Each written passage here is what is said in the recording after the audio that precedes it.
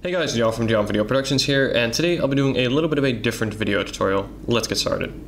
Alright guys, so today instead of looking at Final Cut Pro 10, I'm going to be looking at ScreenFlow 4 for Mac here. I've been getting some questions from some of you guys uh, regarding the, the, the effects or the motions that I make in these videos, and that's really what this tutorial is all about. I'm going to be showing you how to add video actions to your video and make your video not only easier to understand or better for the viewers to look at, but also look more professional.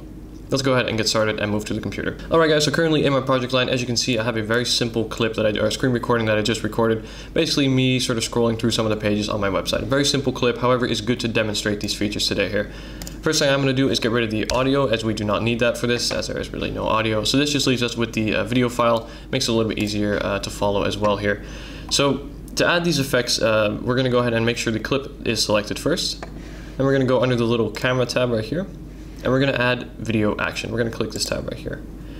As you can see, a little yellow tab has just appeared in front of my um, in front of my meter line here, and from here we can simply do whatever we want. So let's go ahead and change. We can change the scale, we can change the X rotation, Y rotation, Z rotation, opacity, anything we want. So let's go ahead and say we want to zoom in a little bit. So we're going to go and simply drag this to the right, and make sure it is still aligned in our frame. Because keep in mind this is our frame, and the uh, the highlights around it is the video itself here.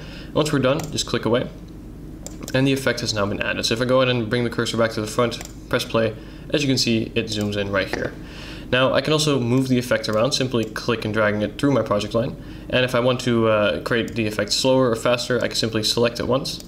And if I move the cursor uh, towards the right of the effect or towards the left, I'll get little arrows uh, indicating uh, the option to uh, extend it. And I can simply pull it out if, say, I wanted to make the effect a little bit longer or a little bit slower, last a bit longer. And from there, as you can see, it is a slower effect. So for example, in this uh, area right here, as you can see, I kind of scroll down uh, to my website. Uh, to the latest content section here. So let's say I want to add an effect to that. Say zooming in a little bit more on that. So let's go ahead and go back right there. So let's say say I wanted to zoom in a bit on that. I'm going to go ahead and uh, select, select it right around there, right before I stop scrolling.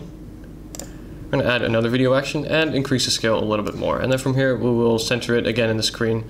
Uh, of course, you can do this more precisely, but for now, just for demonstration purposes, I'll sort of quickly drag it in.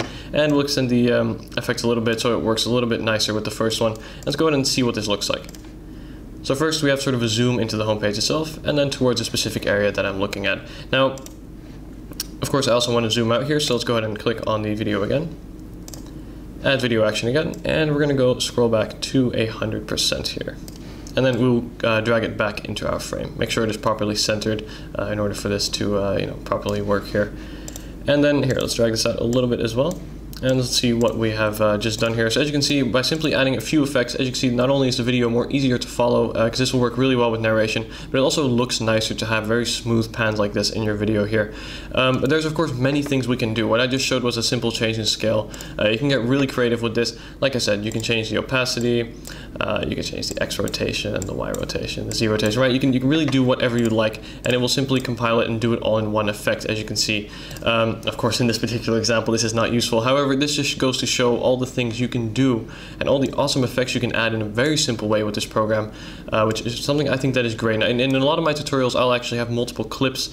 Uh, however, that's for another tutorial. And adding transitions between those two clips is very easy with simple video actions. Hopefully you guys learned something from this video. And uh, thank you very much for watching. And I'll see you guys in the next video. I'll have some more videos listed at the end of the video. Thanks for watching.